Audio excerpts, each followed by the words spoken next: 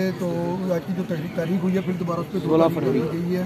दो मार्च को दोबारा हेयरिंग होगी इसी केस की। इनकी जो बुरी जमानत है अभी बुरी जमानत ही चल रही है इधर।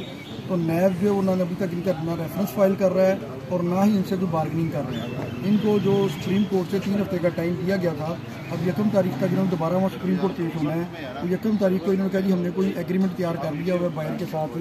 तो अलीम खान का जो एग्रीमेंट वो उन्होंने पेश करना है वहाँ पर जी हमारी टर्म्स एंड कंडीशन तय हो चुकी तो इस बेस पे अमार खान की जमानत कबूल की जाए।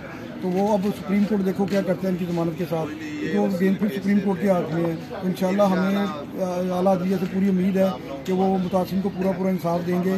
तो हम तमाम इंसाफ कामी वाला से अपील करते हैं कि हमारे इस केस के ऊपर जो है वो नज़र षानी की जाए और पागर के मुतासिन को उनका हक दिलवाया जाए जो दो हज़ार तेरह से सड़कों पर खवार हो रहे हैं और दो हज़ार अठारह से नैब में केस होते हुए भी अभी तक इसका कोई ना फैसला आया और ना कोई डील हुई है।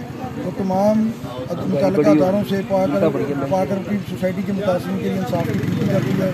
तो तमाम दोस्तों को ज़्यादा शेयर करें ताकि हमारी आवाज़ तक पहुँचे बहुत शुक्रिया